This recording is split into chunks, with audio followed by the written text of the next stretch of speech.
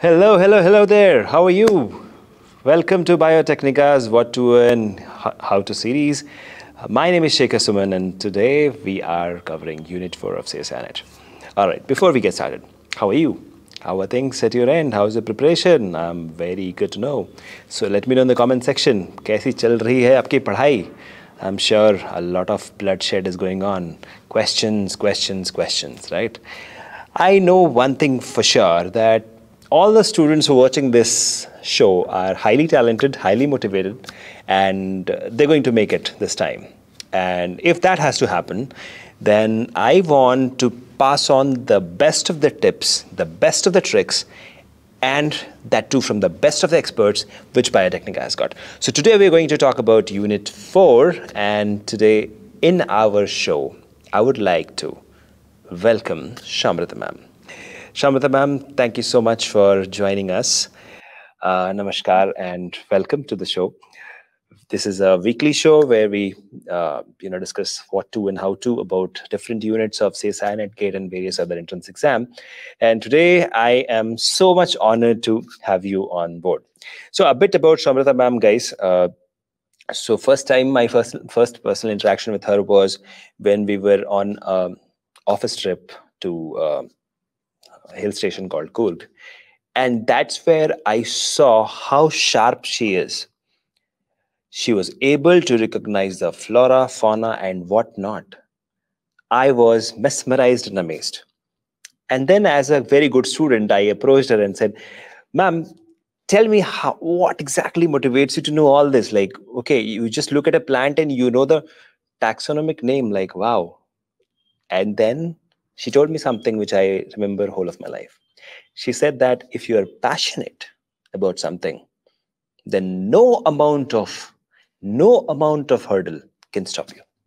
And that line I have imbibed in myself till date. And today I'm so honored to have her.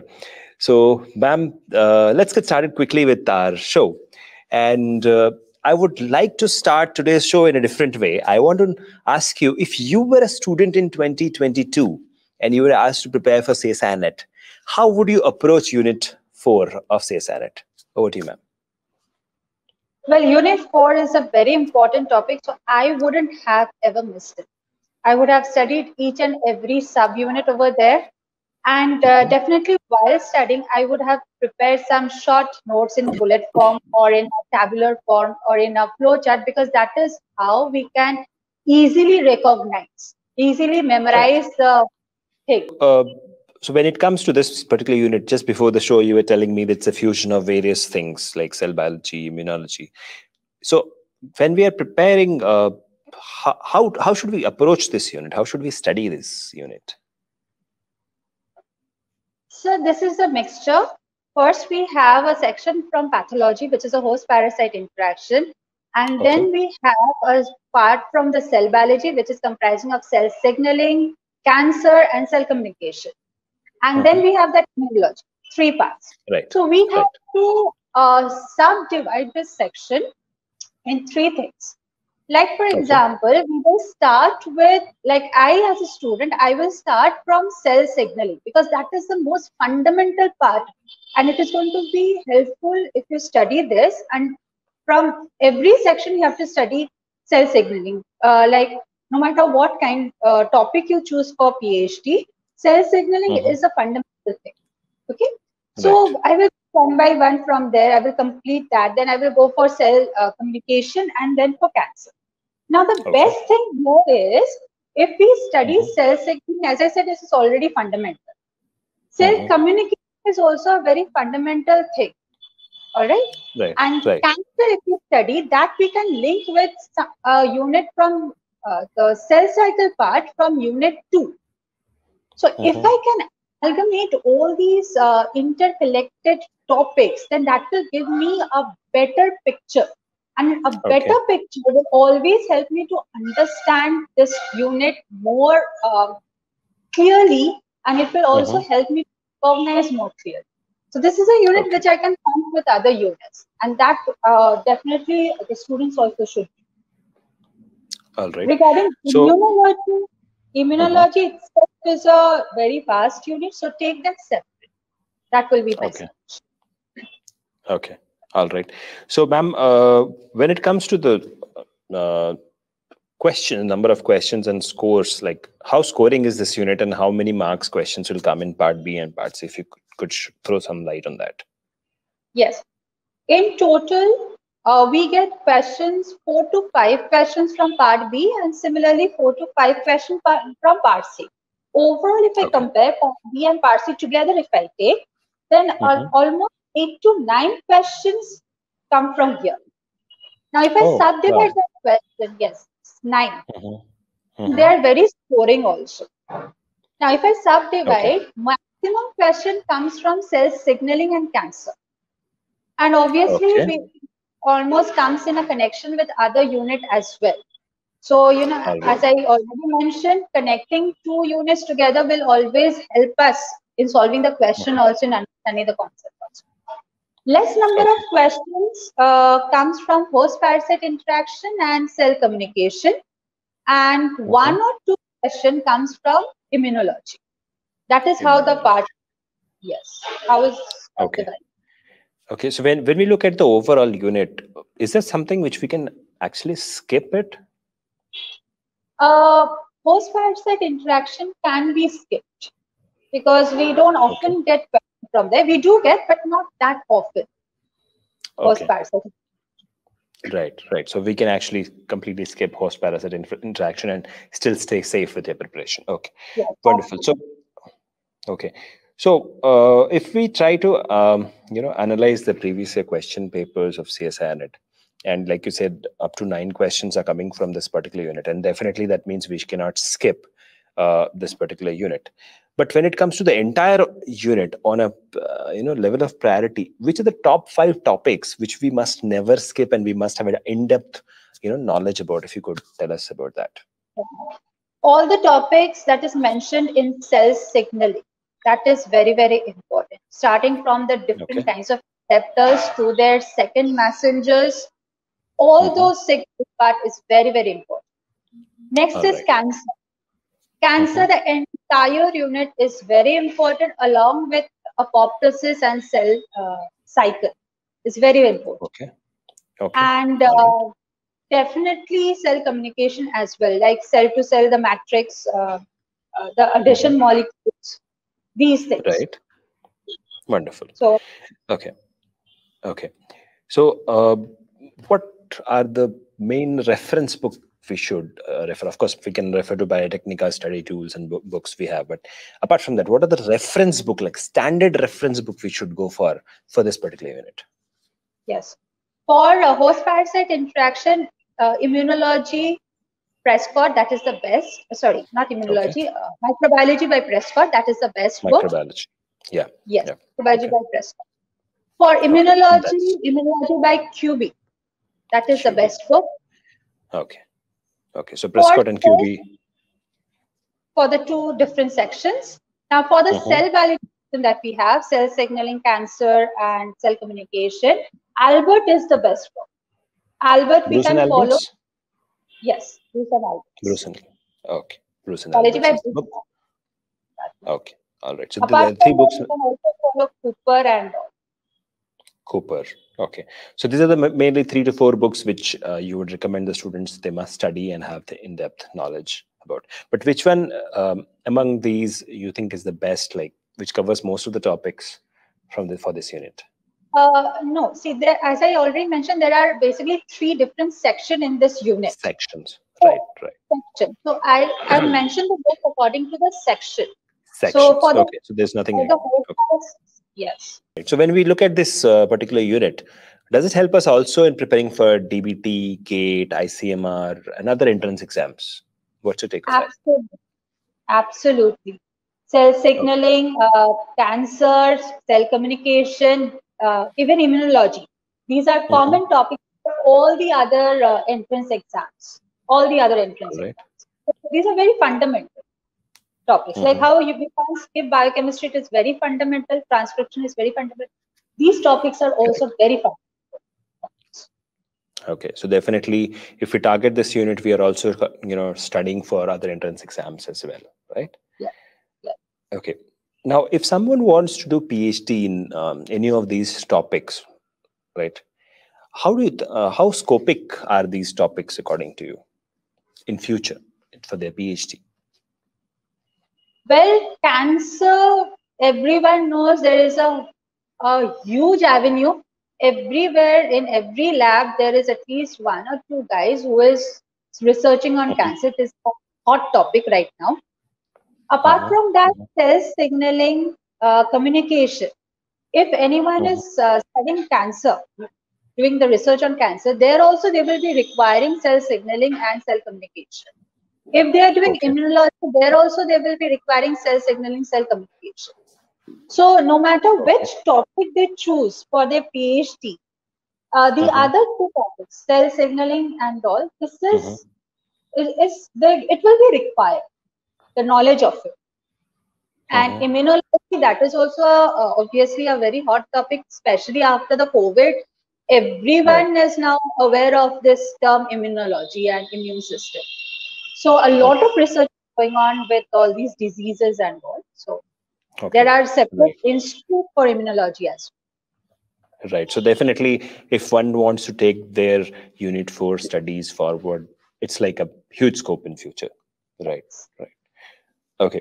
So uh, now, ma'am, if uh, a student has to make notes for this topic, because you know every unit is different, every unit unit's approach is different.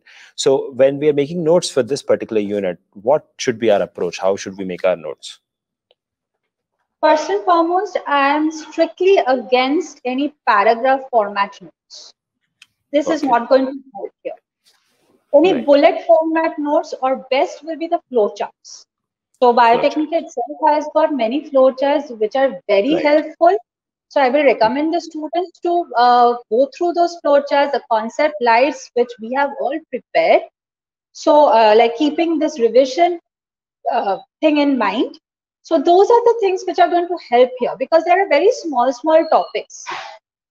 And of course, if you want to fall in love with cell signaling and immunology and all these units, then you have the right true guru right in front of you, Shamrita ma'am and many other true gurus of bio. Absolutely, it will help because uh, this unit is connected. Like uh, if we consider 4A part, unit 4 Mhm. part A, that is connected with unit 9 part E. Now part B is connected to unit 5 and also unit 4 uh, E, which is immunology, and unit 5 is dev bio. So like that way, unit uh, part C that is connected to uh, 4D also, and 4D which is cancer that is connected to 2D which is cell cycle. Then uh, immunology part that is 4E that is connected with uh, the immunoassays which is there in unit 30 part B. It's a So, vast nature of uh. Yes, absolutely.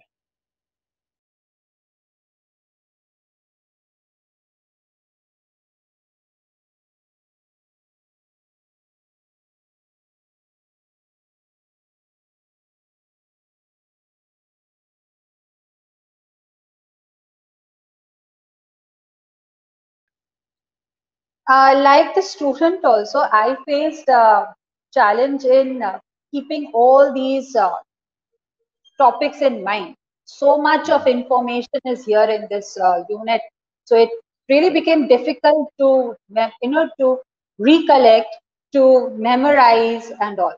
So what I did as a student was I made some notes in pointer format, in tabular format, in flowchart format because uh, that time I did not have Biotecnika. Unfortunately, I wish I had Biotecnika that time. Right. So uh, yes. So uh, now what Biotecnika has done this uh, flow charts, concept light and all. Uh, this we all did keeping those hurdles in mind. So those are highly recommended for the student because I, as a student, I found those flow charts, the tabular formats, uh, to be very helpful in you know memorizing and recollecting all those topics. Mhm. So that is how uh, one should approach this unit. Okay. Then diagram format also.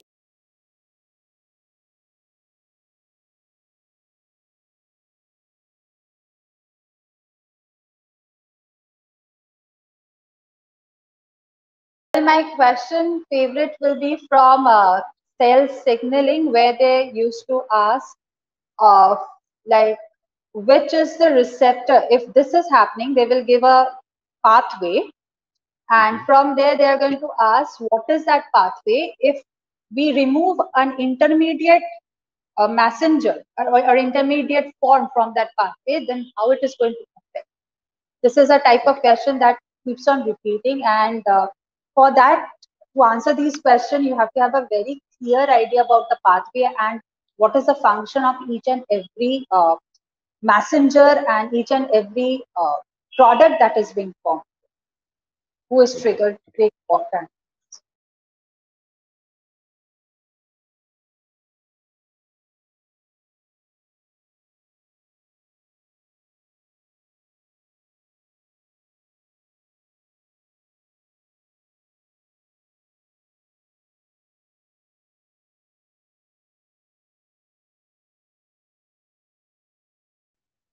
Well, I want to tell them do not skip this topic at all and revise it at least once every week. At least once. I know there are a lot of topics to revise and you find it quite difficult to revise all the topics, but at least keep one day for this. And especially when you're revising this topic, I am emphasizing on this point. Connect this topic with all other related units. Form a larger picture. Like one example I will say, students study transcription replication as separate unit and then they study signaling as separate and then they study a cell cycle as separate. But you can simply connect this topic. Have you ever thought that transcription is initiating? We have studied the transcription factors how they initiate transcription and everything.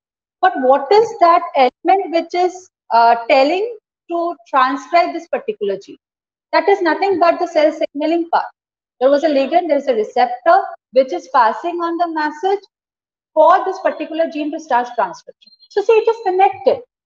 If you mm-hmm. can connect this thing, trust me, it is going to help you to recollect all the units together. It is going to save mm-hmm. time for your revision and also in the question, like if you uh, go through the questions these days, they are all connected topics. That's why your question, you mm-hmm. find it difficult you say you can't uh, you can't understand. But if you analyze it they are connecting the units together. So if you do it in this way it will also help you to understand the past questions better. So practice question revise it at least once a week definitely. And as i told you revise uh, use these flowcharts the diagrams the, the tables these things to revise. It's going to save time and of course help in memorization and lastly, I want to say all the best students. Uh, students, there you have it, my dear subscribers of Biotecnika. Just like a true guru, Shamrita ma'am came all the way in, gave us a complete picture, complete clarity about Unit 4, and told us what to do, what not to do, how to do, what to do. But remember, the baton is now in your hands. You have to study. You are going to study in the right way, the path which ma'am has shown. And of course, if you want to fall in love with cell signaling and immunology and all these units, then you have the right true guru right in front of you. Shamrita ma'am and many other true gurus of Biotecnika are right here to guide you, mentor you. So don't forget to subscribe to Biotecnika's YouTube channel. And if you want to prepare in a serious manner, then you got there. You have to join Biotechnica for your CSIR NET preparation. So this was this week's How to and What to series. Thank you so much for watching. I'll see you next week with more insights on Unit 5 and beyond. Till then, stay tuned. See you in the next one. Till then, take care. Bye bye.